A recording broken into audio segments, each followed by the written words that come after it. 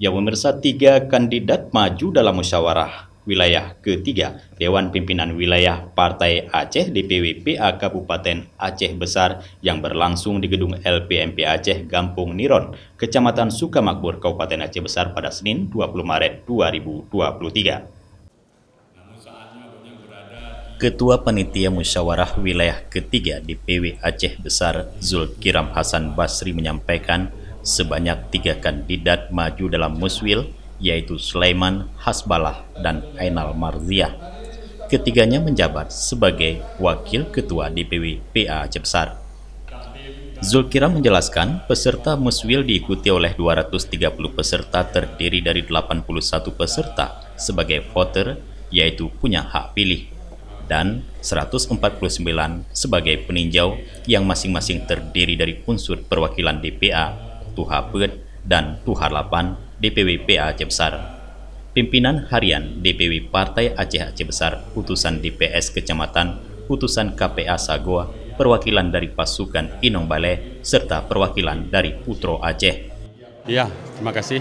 Yang pertama tentu saja sebagaimana sebuah organisasi lazimnya adalah bahwa uh, di momen musyawarah wilayah yang terpenting kita lakukan adalah uh, bagaimana menyusun langkah-langkah kerja-kerja politik baik dalam bentuk strategi dan program-program kerja dan tentu saja harapan yang paling besar adalah di Muswil ini mampu kita lahirkan kepemimpinan baru.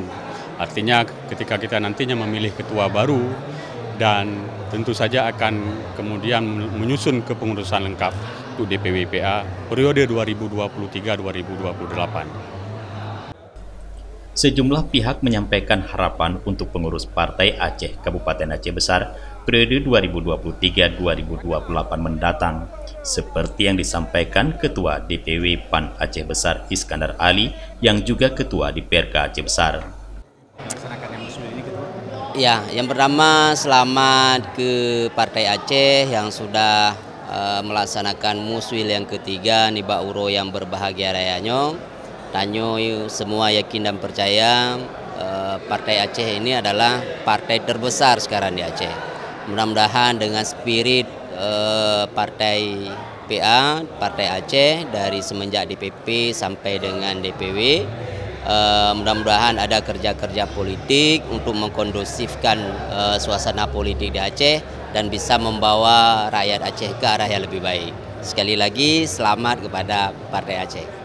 Baik, terima kasih sekali pada hari ini yang bawa Muswil Partai Aceh yang ketiga dilaksanakan. Pada prinsipnya kami yang pernah memimpin ini, memimpin Partai Aceh berharap bahwa suksesi ini profesional uh, dan dari awal proses juga terbuka untuk umum. Alhamdulillah saya berharap selaku pribadi dan juga pengurus partai bahwa kalah menang hal yang biasa dan di Partai Aceh ini adalah bagian dari demokrasi sama seperti partai yang lain juga. Yang terpilih adalah kader kita yang terbaik dan yang belum mendapat kesempatan untuk memimpin, mari bersama kita ikut memimpin Partai Aceh ke depan untuk menghadapi suksesi legislatif dan eksekutif baik tingkat kabupaten maupun tingkat provinsi. Dalam musyawarah wilayah ketiga ini, Hasbalah terpilih sebagai Ketua Dewan Pimpinan Wilayah Partai Aceh DPW PA Kabupaten Aceh Besar periode 2023-2028 dengan mengantongi 46 suara. Sementara rivalnya Sulaiman 31 suara dan Ainal Marziah hanya mengantongi 6 suara. Dari Aceh Besar, Tim Liputan Aceh TV melaporkan.